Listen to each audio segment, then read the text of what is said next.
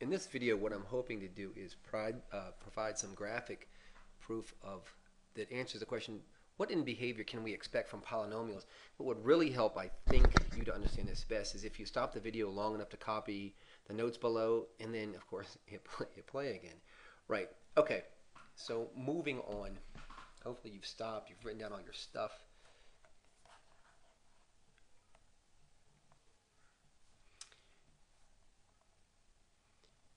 What I want to get to is this. This is let our polynomial be described as this whole mess right here.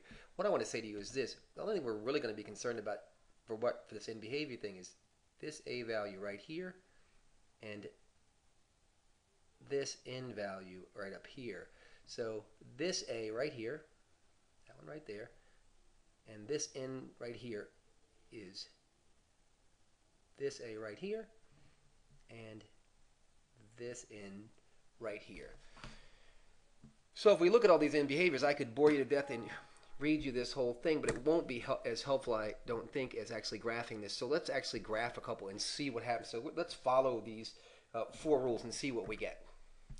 So what I'm going to do is I'm on my CAS calculator. I'm going to go to, in your case, the home screen. I'm going to choose graphs, and then I'm going to start putting some of these values in. And here I'm just going to put in this text just to remind you what we're doing here. The first rule said a is less than 0 and n is even.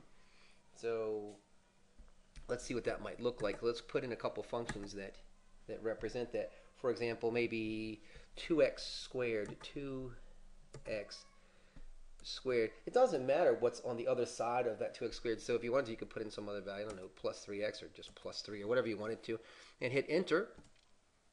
And here's that function, and we're looking at end behavior. So end behavior, the first end behavior says, well, what happens as x approaches positive infinity? So we look this way towards the right as far as we can look, as far as we can look, following that cursor right there, as far as we can look off the screen, keep going right, keep going right, keep going right.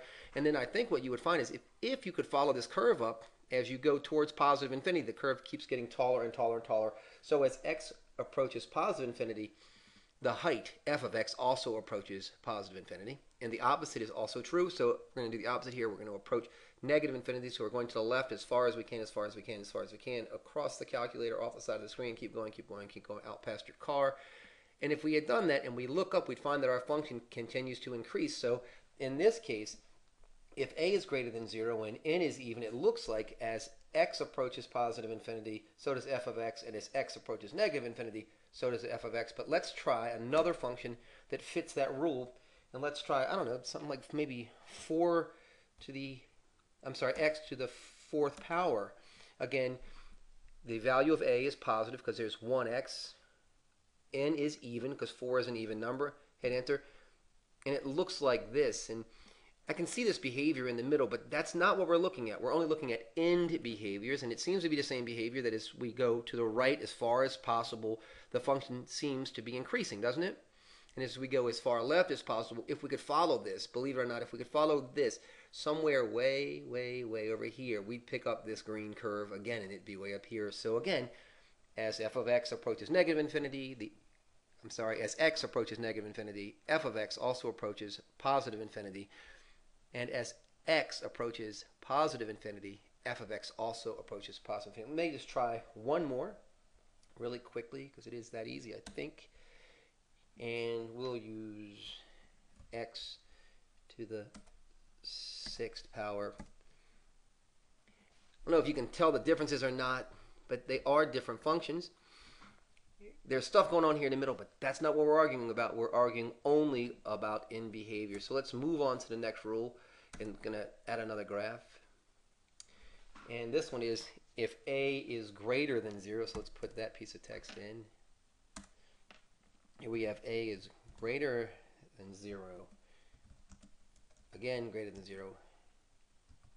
And hello. And n is uh, just to give an idea what we're doing here. We'll see if we can find some functions that fit that. Uh, function here we have uh, a has a positive number, so we'll make it 1. So there's x. Well, that's 1x, isn't it? And we'll put it to an odd power, to the third power, certainly odd. And there it is. And if we follow this, as we go, x goes towards negative infinity, we see that this function, the height also is going down as we move to the left, so it's approaching negative infinity. As x approaches positive infinity, that says we move to the right, move to the right, f of x approaches po positive infinity. So as, as x approaches negative infinity, f of x approaches negative infinity. As x approaches positive infinity, f of x approaches positive infinity. So that's rule two. Hopefully you're looking back at the notes that you took and seeing if these graphs are matching up with what you expected to happen. Let's try another one. Uh, we have, again, x is greater than 0, like 2 is greater than 0. So 2x has to be an odd exponent, so let's put it to the fifth power, if you don't mind, and hit enter. And we have this function. The function looks a little bit similar to the cubic function. There are some differences, and we can certainly talk about those later, but all we care about in this case is end behavior. And as we move left, that is x goes to negative infinity, f of x, the height, seems to be crashing down towards negative infinity. And as x moves to positive infinity, the height seems to be increasing. So we have that x goes to positive infinity, f of x goes to positive infinity, x goes to negative infinity, f of x goes to negative infinity. Check that against your rule number two. Let's try another one, please. All right, so we're going to go to insert again hit graphs. And now it says that we want this rule and we want A to be less than 0 and n is even. So let's see if we can find some cases where that's true. Like, I don't know, the opposite of x squared. So we had the x squared and it went up on as we went towards the extremes on the left and the right.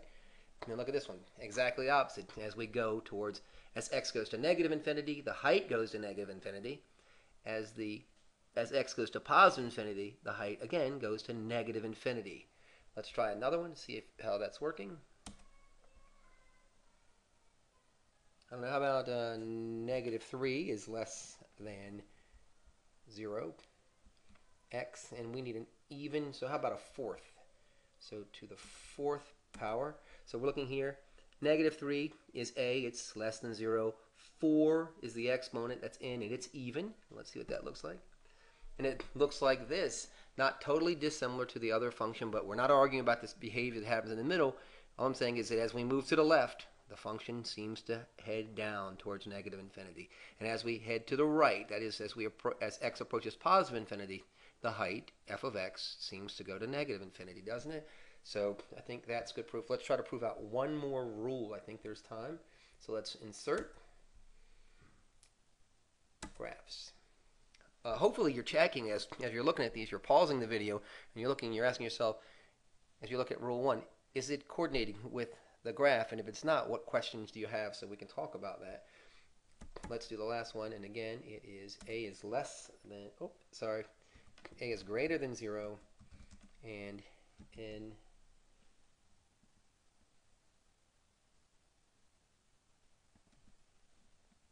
and is odd.